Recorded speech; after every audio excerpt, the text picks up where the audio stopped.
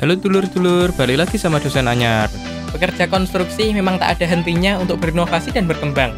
Seiring perkembangan zaman, pasti para pekerja akan lebih terampil lagi kan guys?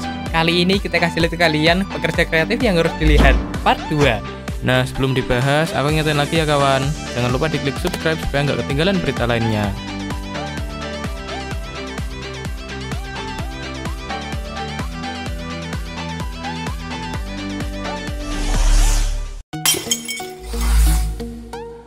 Kastil medieval Di tengah hutan Prancis sedang berlangsung sebuah percobaan yang tak biasa. Tim tukang kayu, tukang batu, pandai besi, ahli genteng, dan para profesional lainnya membangun sebuah kastil pada abad pertengahan. Mereka membangun dengan alat dan bahan yang ada di abad pertengahan guys. Mulai dari menambang batu dan diangkut dengan kereta kuda. Tak ada alat listrik apalagi keren. Pada video ini, kastil hampir setengah jadi. Untuk tahun depan, rencananya mereka akan membangun benteng dan menara.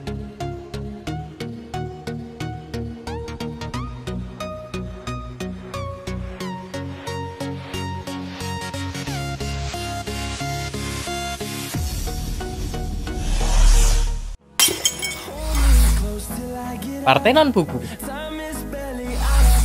Pameran dokumen ke-14 yang menggunakan seni kontemporer di kota Kastel, Jerman. Seniman asal Argentina, Martin Minicin, memasang 100.000 buku yang sangat sensitif di negara tersebut. Buku-buku itu akan disusun dan membentuk sebuah Partenon. Hanya plastik transparan yang digunakan untuk mewadai buku-buku tersebut. Partenon ini telah berakhir pada 17 September 2017 lalu guys. Setelah dibongkar, buku-buku tersebut kemudian dibagikan pada siapa saja yang mau.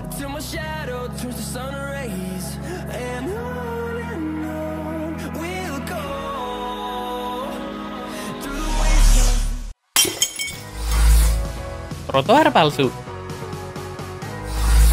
Ternyata beton mempunyai banyak kegunaan dari yang kalian bayangkan loh. Nah, pada pembuatan trotoar ini memang biasa saja sih, buat kerangka dan kemudian dicor.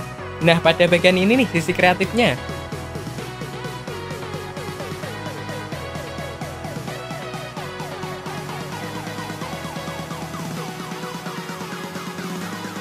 Sudah terlihat seperti asli belum guys?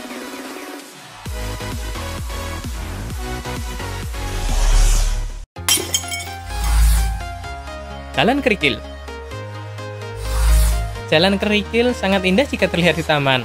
Namun tentu juga mempunyai kekurangan bagi orang-orang yang mempunyai mobilitas terbatas. Nah, untuk menanggulangi hal itu, para pekerja menggunakan sebuah stabilizer untuk memudahkan mobilitas.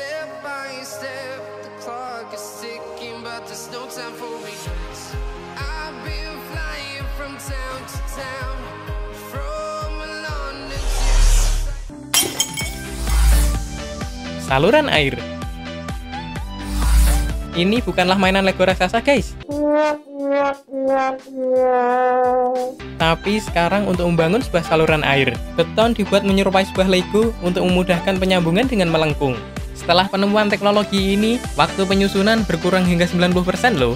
Beton mampu menahan gempa bumi atau bencana alam lainnya seperti tornado dan badai. Hal berguna lainnya yaitu struktur dapat dibongkar dan dipasang lagi ya, seperti Lego juga sih.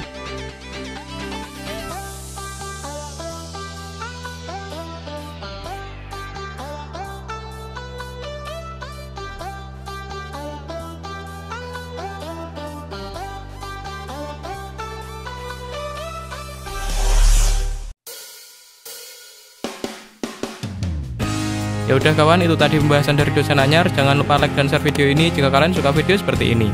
Oke, okay? rek.